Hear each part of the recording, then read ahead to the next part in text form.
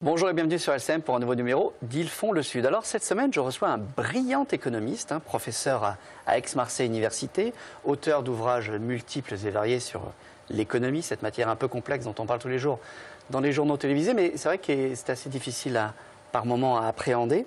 Alors Serge Schweizer, bonjour. Bonjour. Hein, et mis à part le fait que, tu possèdes un, nom qui ferait gagner n'importe qui au Scrabble, est-ce que tu peux nous expliquer de manière simple et intelligible, s'il te plaît, le débat qui agite la France et l'Europe en ce moment, à savoir est-ce qu'il faut de la rigueur à la France, c'est-à-dire bah, réduire les, les dépenses publiques, ou bien au contraire, il y a l'aile gauche du PS notamment qui réclame à corps et à cri une relance de l'économie par une politique de grands projets, des investissements, etc.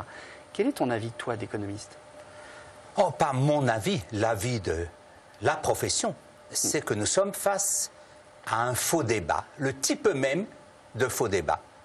Les Allemands, dont les résultats sont incontestables, mm. quoi qu'on en dise, les Allemands ont fait d'abord de la rigueur et ensuite ils ont eu la croissance. Avec la croissance, la baisse du chômage, on n'évitera pas ce passage par la rigueur, mais une vraie rigueur, une vraie austérité, peut-être on va en reparler. Alors est-ce que là, ce que la, politique que mène actuellement le gouvernement, est-ce que pour toi c'est de la, vraie rigueur ou est-ce que non, on n'est pas allé assez loin? Est-ce qu'on appelle de la vraie rigueur ce qui peut se passer dans ton ménage ou dans le mien? Imaginons que l'ensemble de tes dettes mmh égale plus de 90% de ton revenu annuel. Et ton budget dans l'année qui vient serait supérieur d'un pour cent au budget de l'année précédente.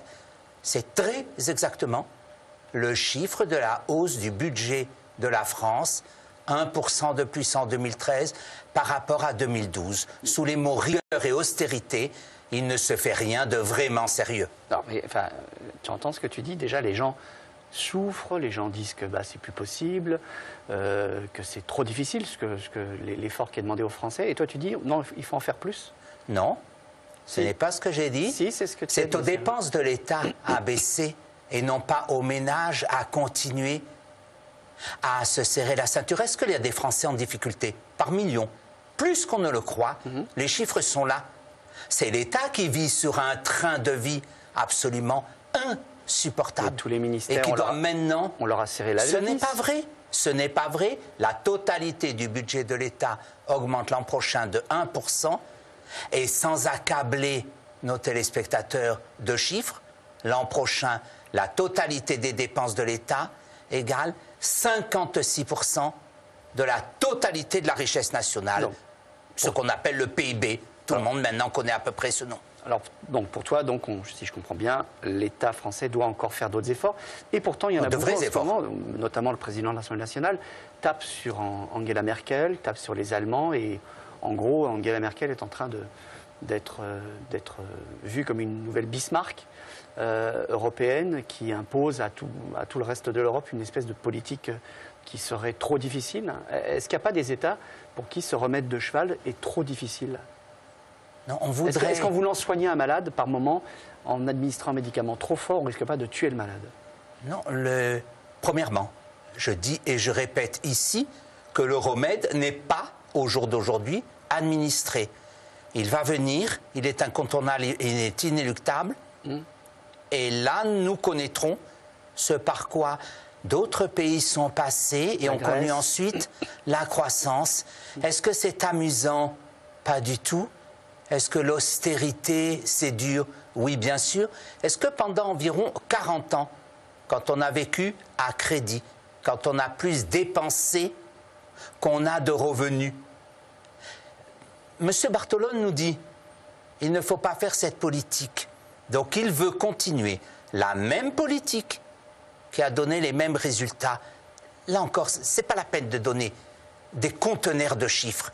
1 450 000 chômeurs, 1981, bilan Giscard.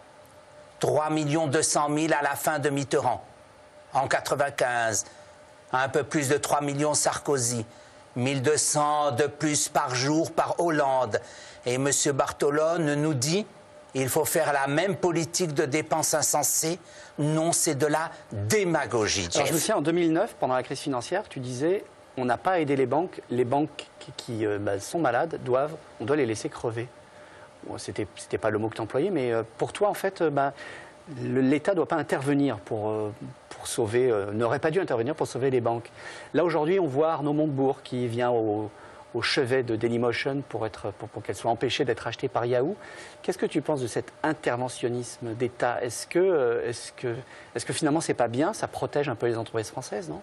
J'aimerais que l'État fasse son travail dans les domaines que personne ne conteste. Et ce serait essentiel. Sécurité, justice, police, Donc l'État ne doit pas, défense nationale. ne doit pas défendre nos pépites françaises? C'est pas bien de faire un peu de protectionnisme de temps en temps?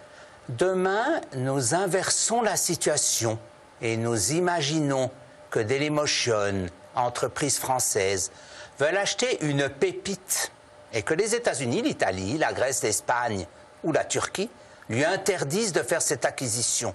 Que dirait M. Montebourg? La réponse est dans la question. L'État n'a pas à faire ce genre de métier. Et ce qui importe, c'est Donc on va se faire piller par, euh, par, Pas tout- du par le tout. reste du monde. Pas du tout. Dailymotion a l'opportunité de grandir dans un partenariat que prévoyait France Télécom, en ne vendant pas la totalité, loin de là, 75%. du capital.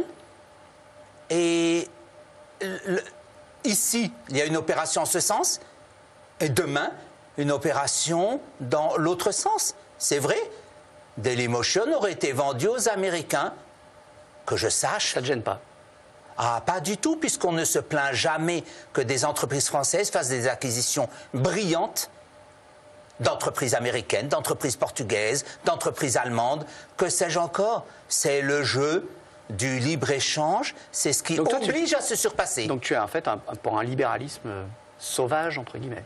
Ça n'existe pas. Est-ce que tu connais le socialisme sauvage et est-ce que tu pourrais en donner la définition? Est-ce que tu connais des ultrasocialistes?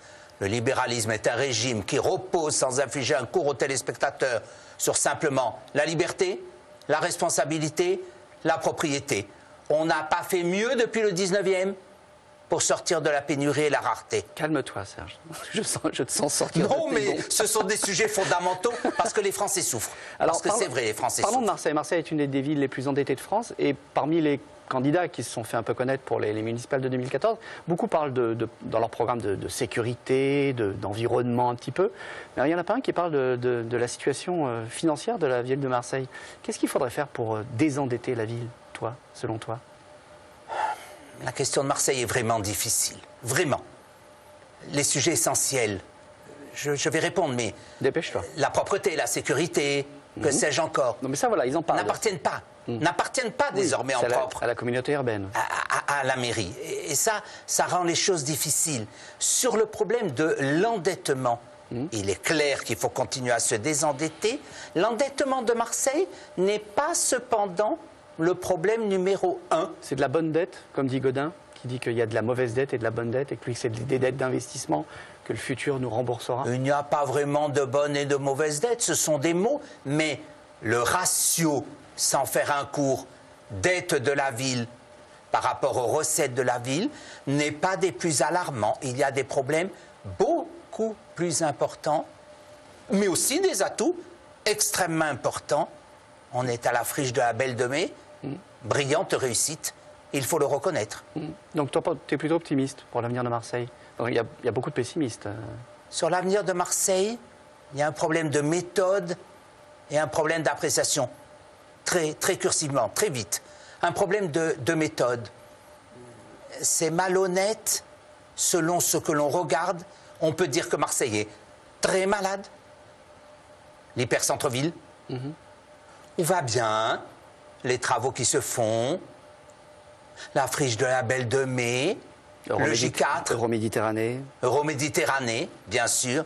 Que sais-je encore?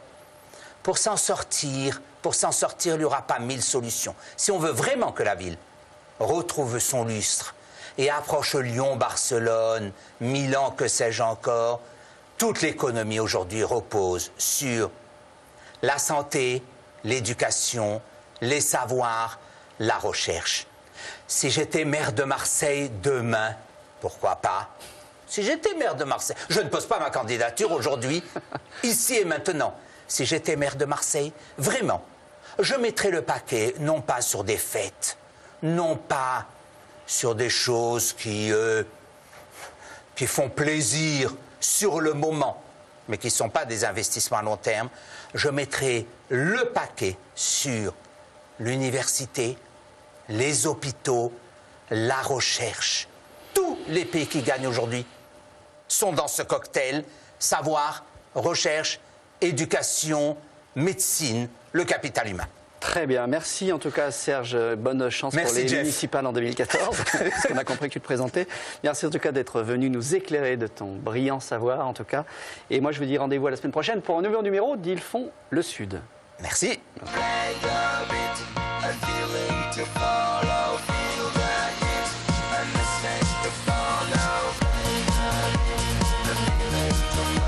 Pour revoir ce programme, lcm.fr.